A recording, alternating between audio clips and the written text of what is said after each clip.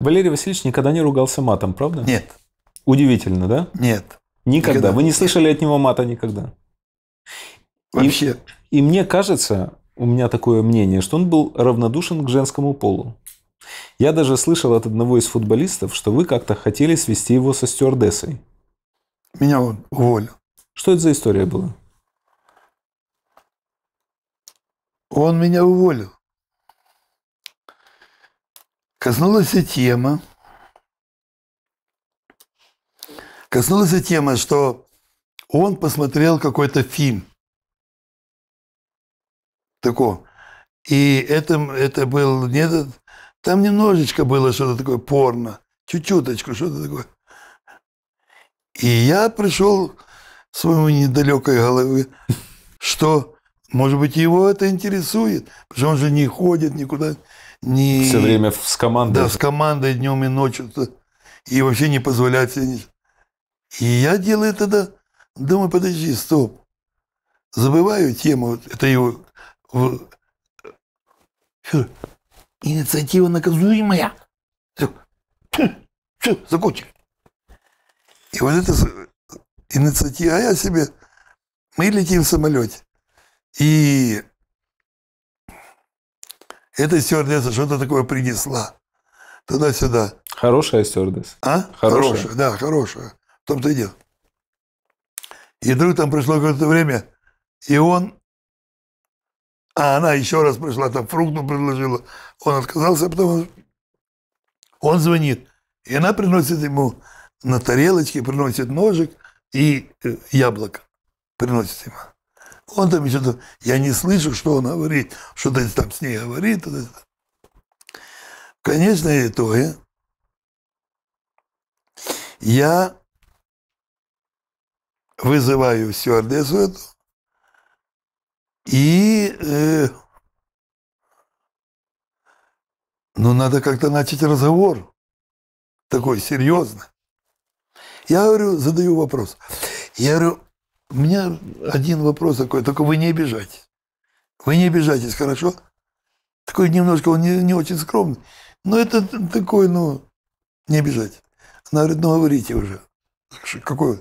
Я говорю, у меня такой вопрос. Я говорю, вы скажите, это правда, говорю, что на высоте 10 тысяч секс вообще сумасшедшим кажется, необыкновенный. Такая, вообще нельзя сравнить вообще с постельным этим вариантом. Она говорит, я не знаю. Я, я не, не, не пробовала таких вариантов. Я говорю, ну ничего, мы это сделаем, мы решим этот вопрос. Мы сначала проверим где-нибудь на низменности. Короче, я туда-сюда, и я ее уговорил, а она обратилась ко мне по поводу билетов на футбол. Мы же прилетели за границу, и на, вот надо три билета на, на стюардесса, там, командиру и помощнику. Ну и ей третий билет. И я ей говорю, вы придете,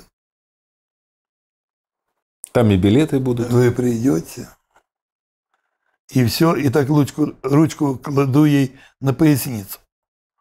Не опускаю ниже, не, не, не грублю. На поясницу.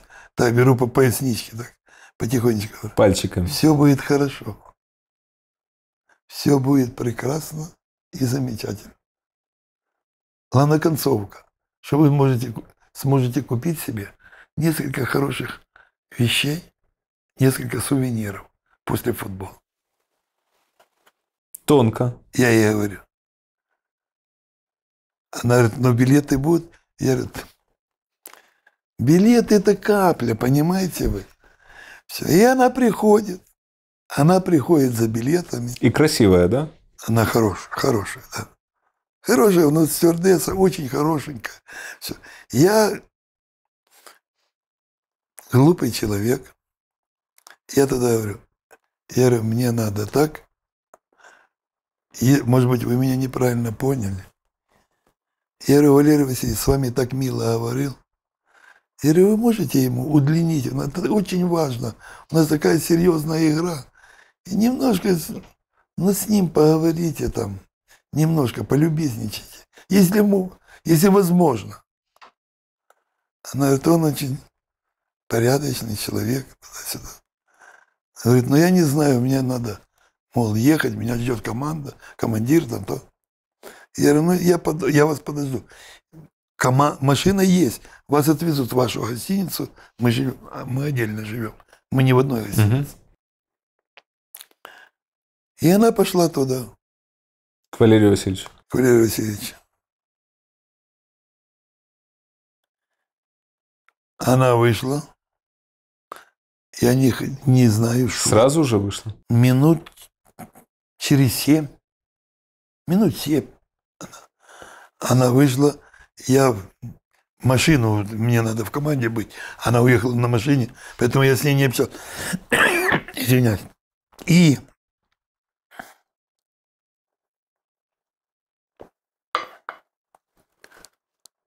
мы едем на игру, а Валерий Васильевич сидел на сидении за водителем. Вот первое сиденье. А я сидел за ним на этом сиденье. Потому что если что-то такое, он говорит, Федорович, а я здесь уже. Да, я говорю, слушаю. Все. И вот мы садимся в самолет, э, в, это, в автобус, и он говорит,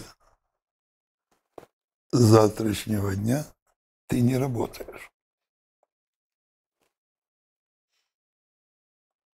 Я говорю, так и все не работают.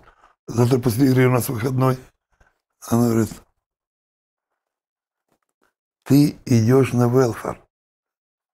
Все, для безработных настал. Все, ты не работаешь. И это было сказано не в шутку. На следующий день я прихожу на работу. Он говорит, иди поднимись к Алле Васильевне в отдел кадров. Ты не работаешь.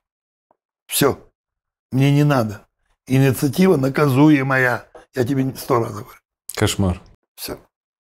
И? И все. И что? И, и мне единственная палочка выручала. Что делать мне? К Пузачу идти. А что Пузач?